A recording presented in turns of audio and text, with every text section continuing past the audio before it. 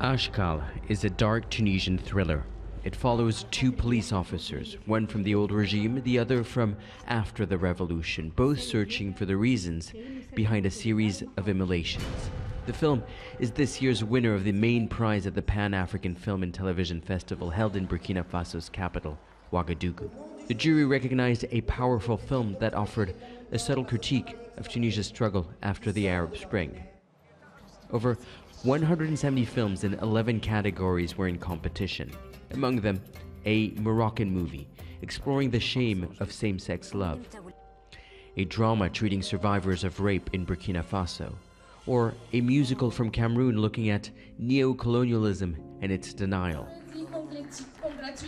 This film's director is the winner of the Ousmane Sembène Prize. He says the festival is a chance to put on the big screen the hidden realities of African societies through fiction.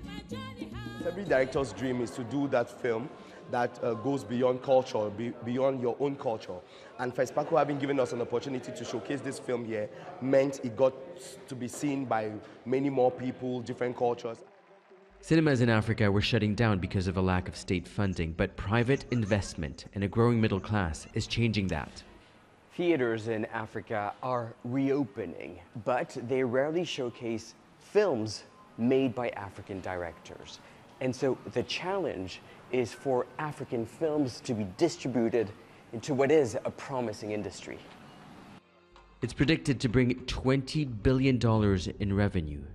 But more than the income, African cinema is an opportunity to plunge into a world of creative narratives, too often overlooked. This film inspired me to dare things I wouldn't do. It gave me the courage to fight for what I really want. The festival aims to showcase filmmakers from Africa that resonates to a global audience. African stories beyond Africa. Nicolas Haque, Al Jazeera, Dakar, Senegal.